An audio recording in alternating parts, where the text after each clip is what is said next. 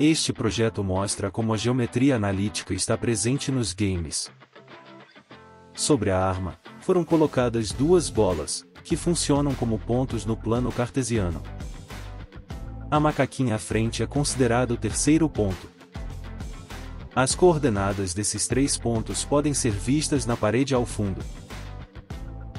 Assim, utilizando a condição de alinhamento de três pontos vista em geometria analítica, podemos calcular o determinante desses três pontos. Caso seja zero, então os três pontos estão alinhados. Dessa forma, podemos fazer um sistema de mira num game.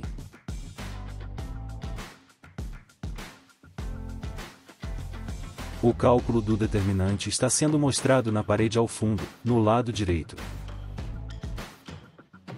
Quando o determinante estiver perto de zero, o inimigo está na mira.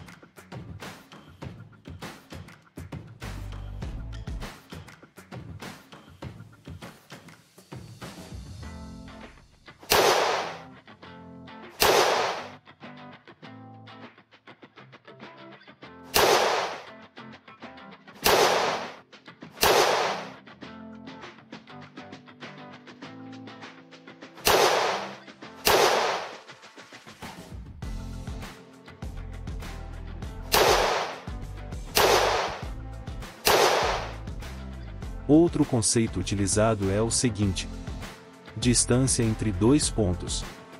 Na parede ao fundo também é mostrada a distância entre a arma e o inimigo.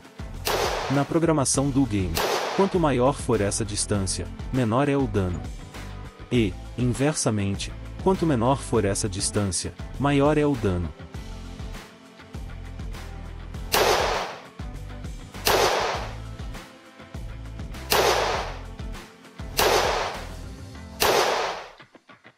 Todos esses cálculos são realizados utilizando-se ferramentas da geometria analítica.